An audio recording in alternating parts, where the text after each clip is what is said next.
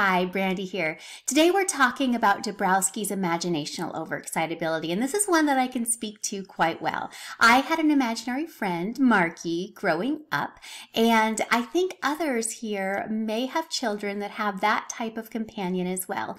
It could be a buddy that is a stuffy that they're very close to. It could be an imaginary friend or a world that they've created all on their own. And it could be something that just takes them away so they're not even even part of the world that we're in or our reality, but it's their own reality. I remember when my son was three years old, we just had painted his room and he was quite quiet during feet off the floor time. We didn't call it nap time. We called it feet off the floor time. And I was wondering what was going on. I walked in and I said, what did you do?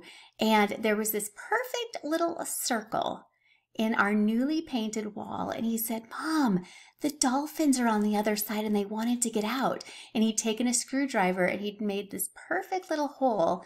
And in his world, those dolphins were real and he was releasing them out into the world. Today we're going to talk about Dabrowski's imaginational excitability and how we as parents can help our kids cope. Are you raising a child who lives in their own little world with imaginary friends, dragons, or some other make-believe creatures? They may have invented a secret language they use when speaking with these friends, and you might not even have a clue what's going on in this world. Chances are you may be one of many parents who are raising what Dabrowski calls a child with an imaginational overexcitability. These children have heightened sensitivities in their ability to imagine and create, and often have rich inner lives that are vastly different from the children around them. Living with a creative child is an amazing experience, but it can also be challenging for parents who may not understand what's going on inside their child's head. If your child has an imaginational overexcitability, you might see some of the following behaviors. Your child may have a highly active imagination and be constantly creating new stories, worlds, and expressing themselves through imaginative play.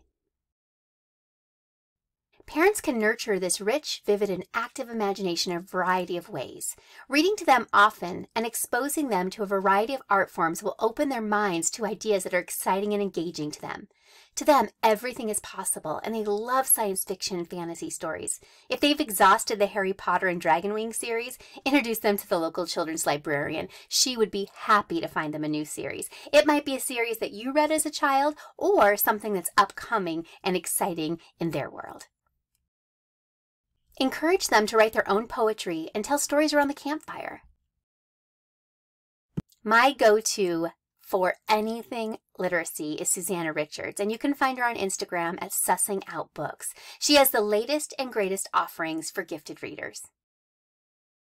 Parents, check out the book Some of My Best Friends Are Books, Guiding the Gifted Reader by Judith Halsted for more book ideas. At the end of the book, there's there's a bibliography section, which leads you to other books that depict characters with common social and emotional issues that gifted kids face. Please note the book is older, so some of the titles within the book might be dated, but the issues are still very relevant.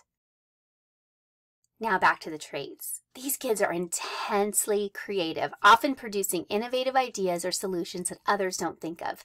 Parents can help them to think outside the box by nurturing their creativity and asking them questions that help them to hone this skill. One strategy I like to use is called the five whys. An example of the five whys would be to ask the child why they think the sky is blue. Once they give their answer, ask another question, getting them to think deeper about that answer. And then continue to ask why, and then they until they get to the heart of the why behind the question that was asked. This gets them to think about their thinking and hone their creative and critical thinking skills. Another characteristic you might see is they might have imaginary friends and even a secret language that they use with all of them. This is common in children with imaginational overexcitability and shouldn't be discouraged.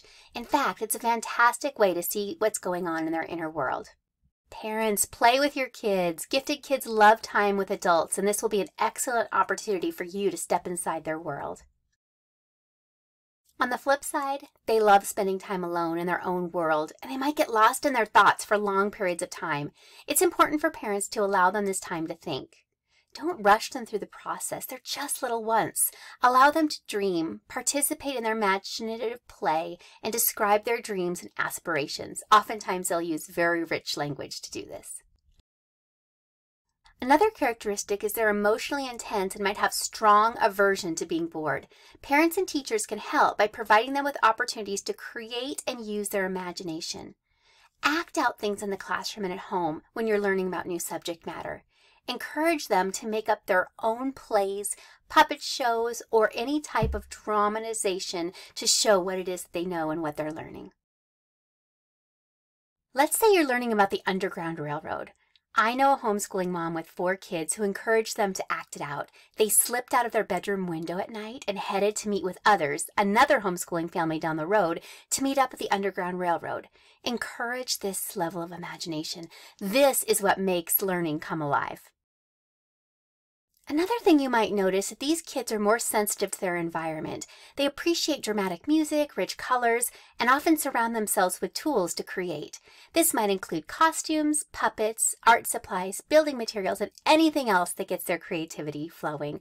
When my boys were little, I used to have an imagination station. It was a box that I filled with all of these things. They could pull that box out whenever they wanted. They could build things, they could create, they could act things out. It just helped their imagination to soar. You can also encourage your child to use their imagination in everyday tasks, such as pretending to be the character of a book, or to come up with a new way to play with their toys. The opportunities are endless. Give your children opportunities to go outside and give them opportunities for independent exploration. This includes setting them loose in a park or a nature area where they can explore without restriction. Creativity is a wonderful skill to have, and to have a creative little child is a joy.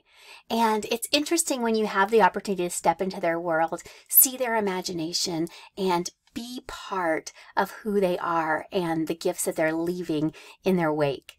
These kids are fun to be around, and it's a lifelong skill that should be nurtured in children. Don't encourage your children to think outside the box. Encourage them to think like there is no box and foster that creativity in your kids. Encourage them to think in new and unusual ways. Read books and watch movies about creative people like Walt Disney, Steve Jobs, J.K. Rowling, and Kid President. There are so many wonderful creative people in this world, and when we expose our children to them, they see that being different, thinking in unusual ways, thinking differently is cool, and encourage them to do that because we want imaginative and creative thinkers in our world because they're going to make a difference in ways that others aren't. My challenge to you is to teach your children to shoot for the stars and use their imagination to make this world a better place.